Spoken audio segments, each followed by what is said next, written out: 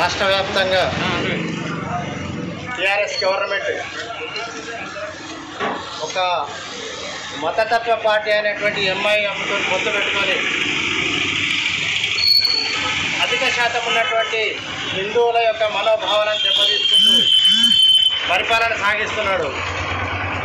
కూడా ఏకమై తన గవర్నమెంట్ని కూల్చేదాకా దీన్ని వదిలిపెట్టమని చెప్పేసి మేము ఈ ఈ సందర్భంగా నిరసన తెలియజేస్తూ రాష్ట్ర ప్రభుత్వానికి హెచ్చరిక చేస్తూ కానీ ఇవన్నింటి కూడా ఆయన పక్కకు పెట్టకపోతే హిందూ సాంప్రదాయాలను కాపాడకపోతే తప్పకుండా అతని గద్దెదించే ప్రయత్నం మేము చేస్తామని చెప్పేసి మేము పబ్లిక్ ప్రజల మధ్యన మేము చెప్ప చెప్పడం జరుగుతుంది.